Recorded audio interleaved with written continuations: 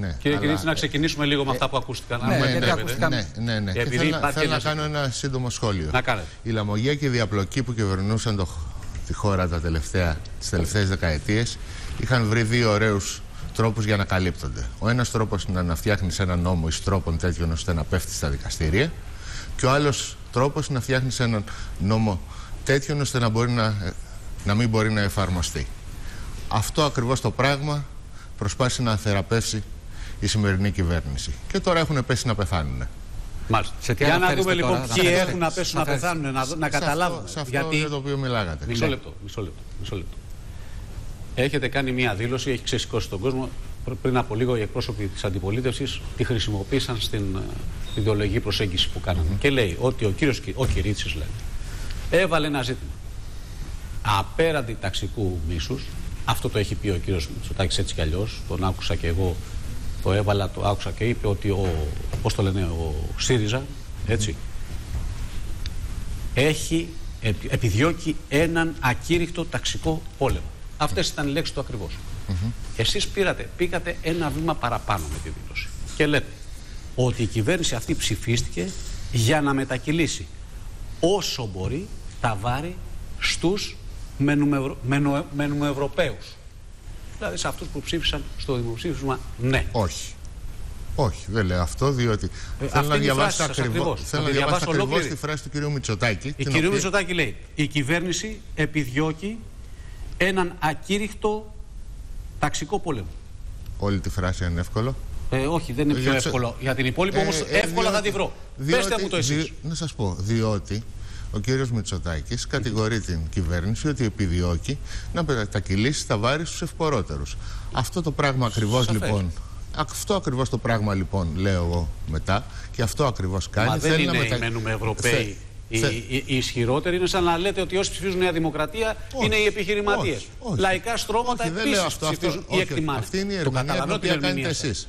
Μπορώ να κάνω τη δικιά μου ερμηνεία. Μπορείτε. Νομίζω, νομίζω Ε, ότι στα γρα- πράγματα που γράφει ο καθένας Εσείς η θα αυθεντική ερμηνεία είναι Εσείς αυτή θα την την οποία κάνετε. κάνει ο ίδιος. Λοιπόν, Ούτε συζήτηση. στα ευπορότερα, Αλλά γράφετε στα ένα ευπο- άρθρο στην Στα αρχή. ευπορότερα στρώματα. Μισό λεπτό. Ναι, ναι, παρακαλώ. Εγώ θεωρώ λοιπόν ότι ο ΣΥΡΙΖΑ είναι απολύτως λογικό και αναμενόμενο να απολογείται στις λαϊκές τάξεις που δεν έχει κατορθώσει να τις ανακουφίσει, αλλά να απολογείται στις εύφορες τάξεις επειδή θέλει να τις επιβαρύνει που δεν έχουν πληρώσει την ύφη ενώ την πλήρωναν οι άλλοι, ε, αυτό είναι υπερβολή. Δεν συμφωνείτε; Κύριε Κυρίτσι, Ε, κύριε αν Κυρίτσι, μιλάτε, οι- δεν ξέρω οι- τι αυτοί που ονομάζετε όμως ψήφισαν- τώρα ισχυρούς. αυτοί που ψήφισαν Δηλαδή η μένουν μικρομεσαία Ελλάδα. τάξη που όχι, λένε ότι Ευρώπη. έζησε. όχι, το 10% του πληθυσμού. Το είναι 10% αυτό. του πληθυσμού. Α- Αυ- ναι. Αυτοί που ψήφισαν μένουμε Ευρώπη. Είναι οι εύποροι, είναι ταξικά. Πρώτα απ' όλα είναι δεν- ταξικοί εχθροί. Όχι βέβαια. Μόλις τώρα δεν Ναι. ακούσατε Ε, την έχω ερώτηση τη δήλωση του συναδέλφου κυρίου σας. ε, Μητσοτάκη, αν μου επιτρέπετε, για να πάρω σε επικύρωση ή όχι. Η κυβέρνηση ΣΥΡΙΖΑ διεξάγει έναν ακήρυκτο ταξικό πόλεμο υπέρ των χαμηλότερων στρωμάτων και εις βάρος των ευπορότερων. Αυτό λέω Εντάξει. εγώ λοιπόν.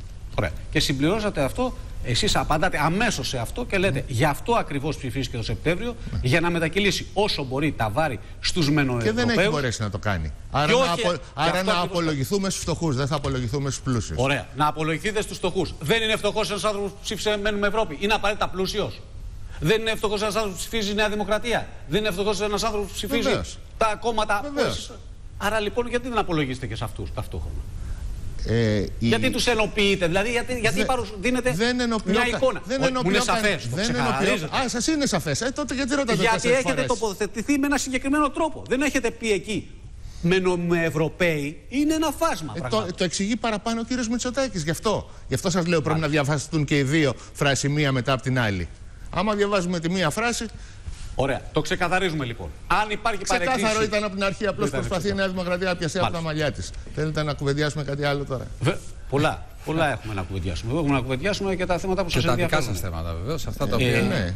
Έχω ένα, Κατά βάση ζήτημα, είναι αυτό. έχω ένα ζήτημα γιατί μάλλον ανοίγεται διμέτωπο, αλλά δεν πήρε. Δεν ανοίγω διάρκεια. κανέναν, Ε, ούτε βέβαια, γιατί μονομέτωπο, όταν ούτε λέτε διμέτωπο. για βαρκιζαϊκά σχήματα και προτιμούν μια αριστερά που έχει μια αναμενόμενη μονοκόμματη και ευκόλως αντιμετωπίσιμη πολιτική Δεν, προσέγγιση. πρόκει- δεν πρόκειται τώρα να μπω στη συζήτηση για ένα κομμάτι. το- το οποίο βάζετε γράφτηκε στο άρθρο προχτές. μετά δεν- Θέλετε να πούμε τίποτα για το προσφυγικό; Να πούμε για το Διότι προσφυγικό. νομίζω ότι είναι 100 φορές πιο σημαντικό. Αν θέλετε όλα να σας τα εξηγήσω. Αν μου δώσετε τζάμπα χρόνο ένα κομμάτι 500 λέξεων να το κάνω 2.000, με τα χαράς.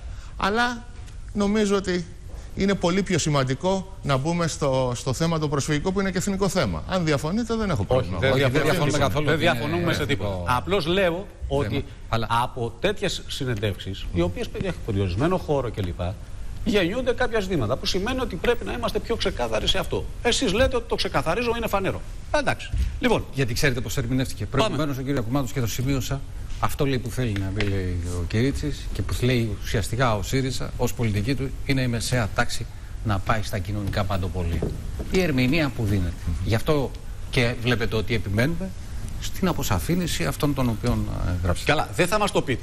Και να ήταν, Τι δεν θα περιμένατε πει. να πει ο δεν θα κύριος βγει κανένας. Γιακουμάτος; Ναι, ναι, δεν θα πούμε αυτό. Ωραία. Πάμε λοιπόν, Λοιπόν. τώρα στα θέματα που. Λοιπόν, ας μην που ανοίξουμε να το θέμα κάνουμε. λοιπόν θέλ- σε σχέση θέλ- με το αν θέλ- Κομμουνιστικό αν Κόμμα. θέλ- αν θέλετε, το αφήνουμε αν στην θέλετε πάντα. μια αναγωγή της προηγούμενης παρατήρησής μου σε αυτό το οποίο είπε ο κύριος Γιακουμάτος, ένα, ένα από τα κόλπα τα οποία κάνει κάθε φορά η άρχουσα τάξη για να προστατευτεί είναι ότι λέει ψέματα στη μεσαία τάξη ότι αποτελεί κομμάτι της άρχουσας τάξης, ενώ αποτελεί θύμα της.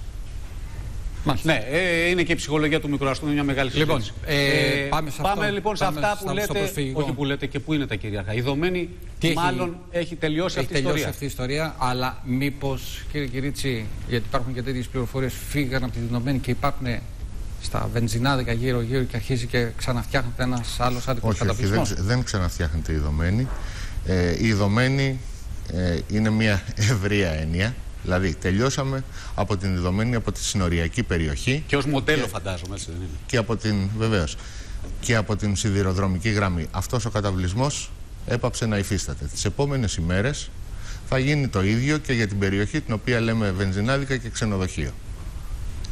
Αυτό είναι συνάρτηση του ρυθμού με τον οποίο τα κέντρα τα οποία έχουμε φτιάξει μπορούν να υποδέχονται τους ανθρώπους με έναν ε, στοιχειοδός λειτουργικό και αξιοπρεπή τρόπο. Διότι αν πάρεις ξαφνικά χιλιάδες ανθρώπους και τους πας κάπου, δεν έχεις τη δυνατότητα να τους Άρα, παρέχεις τις γιατί λέτε υπηρεσίες ότι. οποίες θες. Γιατί εκτιμάτε ότι δεν πρόκειται να επαναληφθεί; Δηλαδή, το λέμε, δεν πρόκειται να επαναληφθεί. Τώρα, εκ των προτέρων θα φροντίσετε αν ομιγέννητο αυξηθεί ο αριθμός ξαφνικά. Γιατί είχαμε να αντιμετωπίσουμε μια, μια πολύ δύσκολη κατάσταση ναι, και δημιουργήθηκε η θέλω- δομένη. θέλω να σας θυμίσω- Εάν γίνει λοιπόν κάτι, Ναι.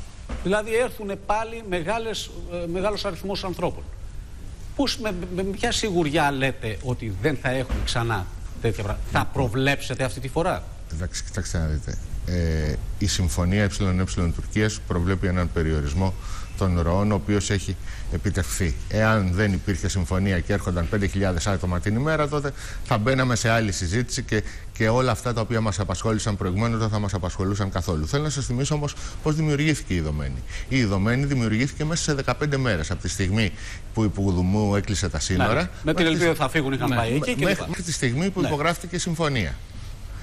Και είδατε ότι ε, ο κόσμος ο οποίος μαζεύτηκε μέσα σε ένα τόσο ε, σύντομο χρονικό διάστημα χρειάστηκε τόσος χρόνος και τόση προετοιμασία για να κατορθώσουμε να μετακινηθεί. Ε, Άρα, αν πηγαίνουμε σε σενάρια καταστροφής που λέει ότι θα αρχίσει η Τουρκία να στέλνει 5.000 άτομα και 10.000 άτομα όπως Ή και να πέρσι τα επιστρέψουν από φθινόπωρα, χώρες από βορρά να επιστρέψουν ε, σημαντικό κομμάτι. πο- Πώς θα επιστρέψουν εδώ, με, Για να με δούμε. ποιο τρόπο; Για να δούμε.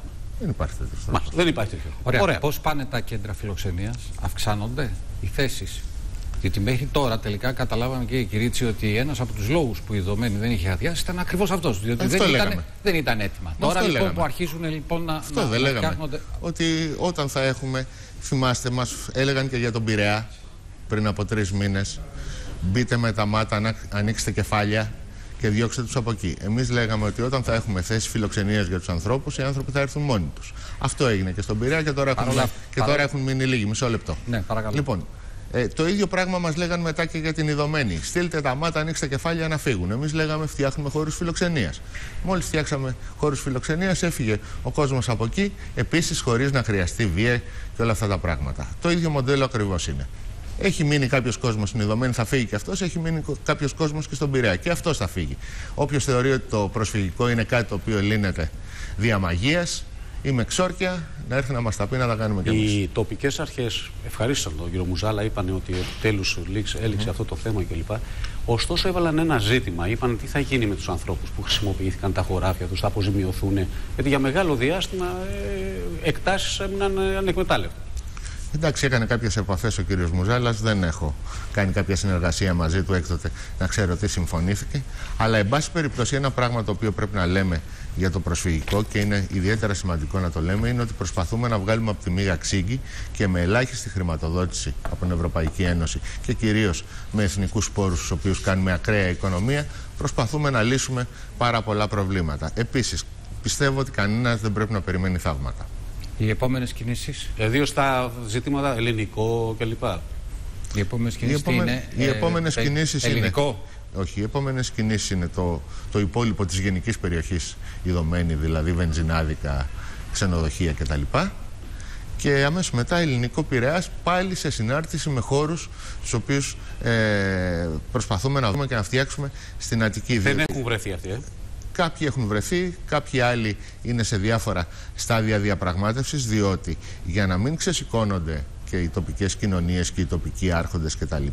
Είναι λίγο ευαίσθητη η διαδικασία της, της διαπραγμάτευσης πρώτον και είναι και λίγο δύσκολο ε, να επιλέγεις χώρους ώστε να ανταποκρίνονται στις μίνιμουμ προδιαγραφές. Ε, ο συνδυασμός αυτών των δύο συν η έλλειψη χρημάτων παράγουν καθυστερήσεις. Σας ευχαριστούμε. Εγώ σας ευχαριστούμε πάρα πολύ.